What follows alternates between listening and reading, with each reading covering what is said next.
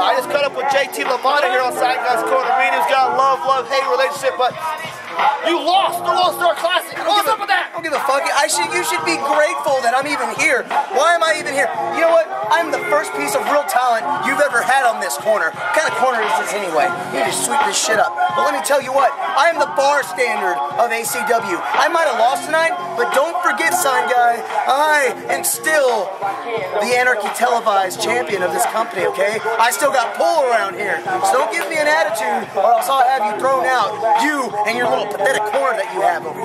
Well, you are wearing a Texas Rangers t-shirt, Uh-huh. and I believe they need to come in second.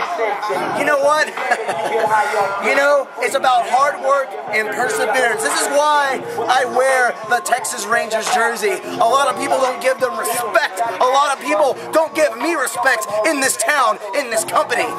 But Let me tell you something, son guy. Maybe you might have your head on straight. I'm going to give you the benefit of the doubt.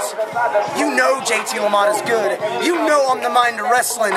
You know that of all the guys you had here, I am it. I am the real deal. Okay? Nobody, even my peers, don't talk to don't you straighten up your attitude? Why don't you straighten up your corner? Why don't you ask me a real question? Why don't you be a professional? Ask the professional a real question.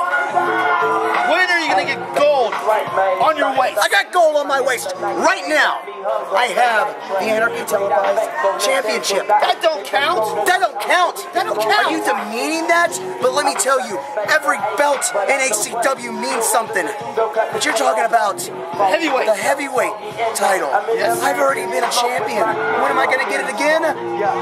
Time will tell. I blew my chance tonight because I wasn't on my A game. Let me tell you what. When the time's right, son guy, when the time is right, you won't know it.